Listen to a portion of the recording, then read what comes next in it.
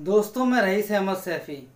वैश्विक भूखमरी की लिस्ट पर भारत ने पाकिस्तान को भी पछाड़ दिया। यानी कि आज हमारा देश भारत पाकिस्तान से भी आगे निकल चुका है। आइए हम सिलसिलेवार तरीके से पूरी रिपोर्ट के बारे में आपको बताते हैं कि आखिर क्या है रिपोर्ट में। इस वीडियो को अंत तक देखिए। बहुत ही महत्वपूर्ण वीडियो है दोस्तों।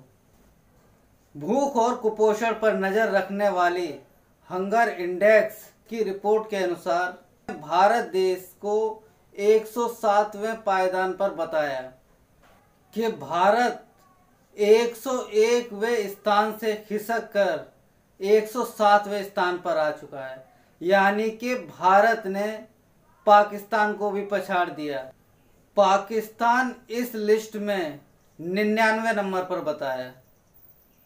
दोस्तों, आज हमारे देश की इतनी अर्थव्यवस्था गिर चुकी है क्या?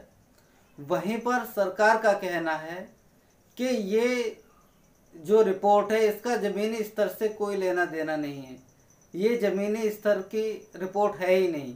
जैसे ही ये खबर आई, तुरंत राजनीतिक पार्टियों ने इस पर निशाना साधना शुरू कर दिया। बताते हैं हम किसने क्या कहा। मनोज सिसोदिया ने कहा दो वक्त की रोटी उपलब्ध कराने में भी 106 देश, नेपाल, पाकिस्तान और बांग्लादेश तक हमसे बेहतर हैं। बीजेपी वाले भाषण तो पाँच ट्रिलियन इकोनॉमी बनाने के भाषण देते हैं। लेकिन हंगर इंडेक्स में हम 107वें नंबर पर हैं। वहीं लालू प्रसाद यादव ने भी पीछे नहीं रहे और उन्होंने भी बीजेपी पर जम के प्रहार किया। लालू प्रसाद यादव ने कहा, ये भाजपाई बचा खुचा देश और संपत्ति भी अपने पूंजीपति मित्रों को बेच देंगे।